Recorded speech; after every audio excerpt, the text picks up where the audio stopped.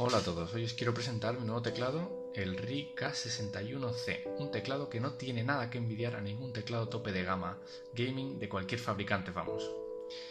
Eh, como os comento, mm, este RI K61C, no lo olvidéis porque en cuanto veáis eh, el teclado más a fondo, mmm, querréis recordar el nombre. Es un teclado mecánico de switches azules, retroiluminado con layout español y con la tecla eh, tanto el intro como el backspace eh, de tamaño normal. Eh, en cuanto a su fabricación, eh, la parte superior bueno, está terminada en aluminio cepillado, que le aporta ese, aspecto premium. como todos los teclados mecánicos, pesa bastante, aproximadamente 1,2 kilos.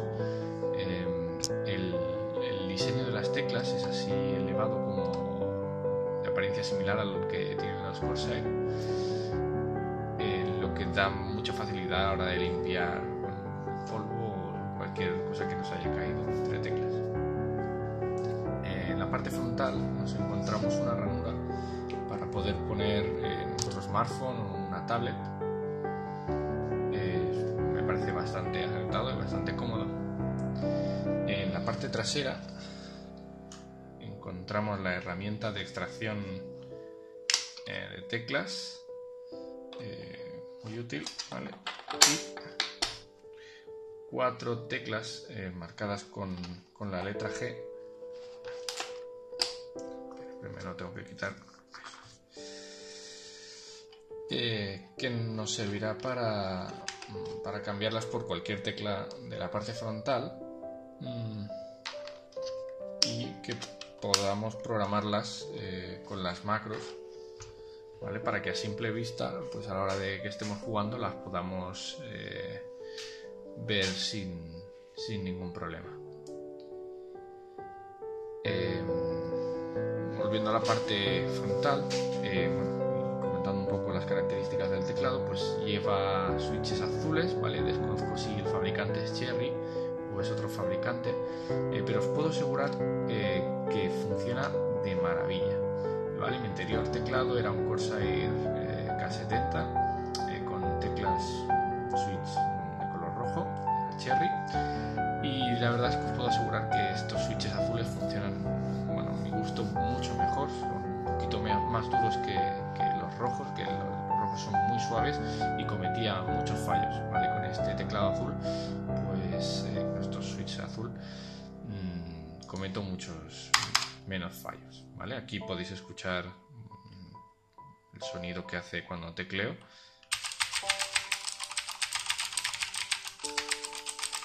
Es un sonido bastante más fuerte que las, teclas rojas.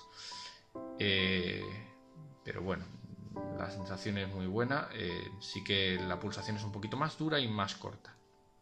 ¿Vale? En cuanto a al layout, como ya os he dicho, es un layout español, ¿vale? Estándar la única tecla mm, digamos que está un poquito desituada es, el abrir la boca de pez y cerrarla, ¿vale? Eh, es un layout de 104 eh, teclas, eh, tiene la ñ y tiene la cedilla.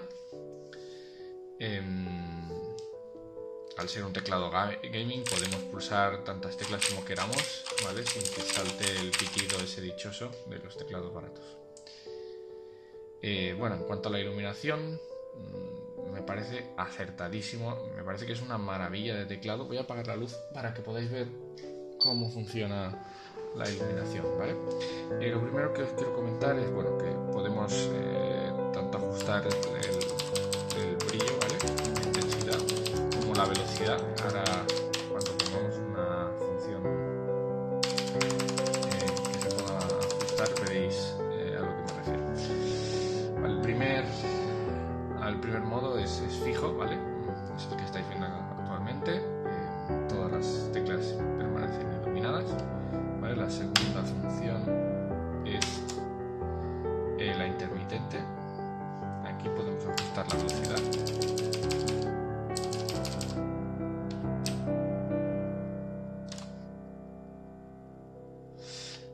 tercera función es la de que se encienda la tecla que pulsamos. Eh, por ejemplo,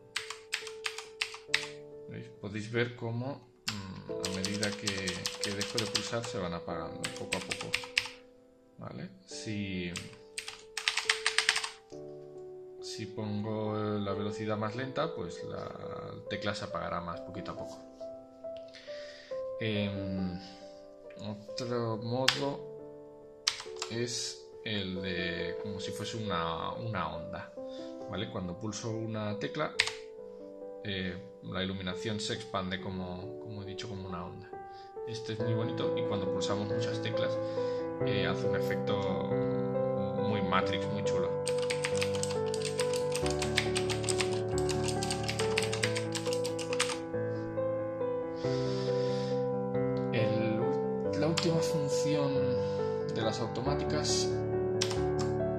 Es la como una ola, ¿vale? No sé si lo apreciáis bien en el vídeo, pero la iluminación se apaga en la zona Vale, tiene otro modo muy interesante. Y es el de fijar solo las teclas que creamos conveniente. ¿Vale? Para ello, pulsamos aquí.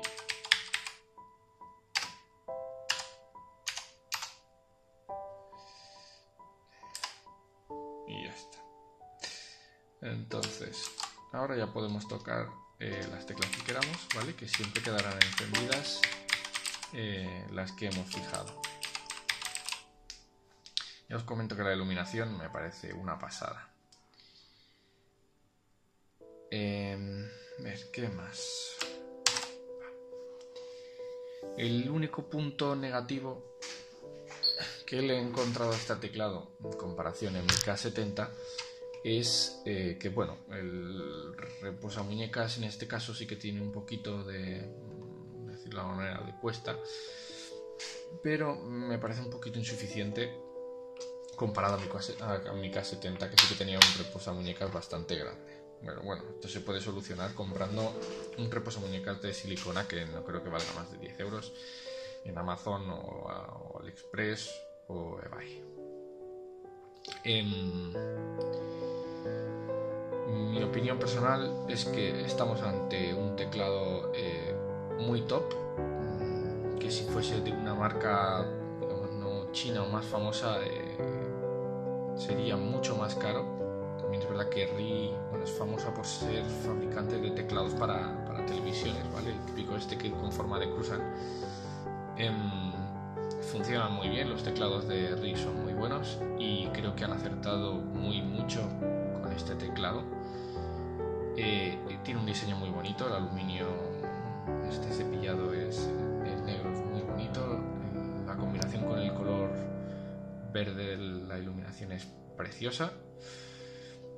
Eh, creo que también las teclas Switch son azul, son un acierto. Eh, me encantan.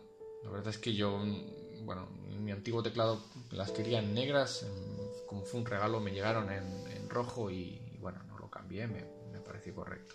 Pero ahora que he probado las, teclas azules, me parecen que son una maravilla. Em, en cuanto a la relación calidad-precio, pues sorprendente, ¿vale? Por, con todo lo que habéis visto, el precio que tiene este teclado ahora mismo es de 80 euros en Amazon y seguramente baje, eh, dado que, bueno, la novedad pues hace que el precio sea más alto, pero seguramente en un par de meses lo podamos encontrar a 65 o 70 euros. Eh, simplemente eso, recomendaros este teclado porque me ha encantado, es muy bonito y bueno, es una maravilla. Muchas gracias por verme, ha sido un placer.